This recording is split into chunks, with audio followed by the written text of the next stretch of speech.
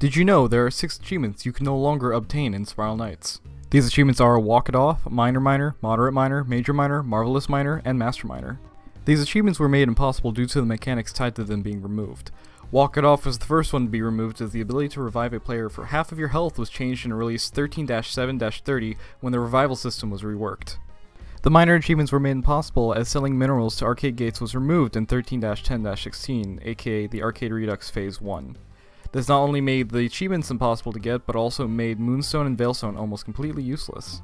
For those who obtained these achievements, they're still displayed in the Achievements tab of the player's UI, but it's rather hidden away and forgettable, though they can be used to gauge how old a player's account may be.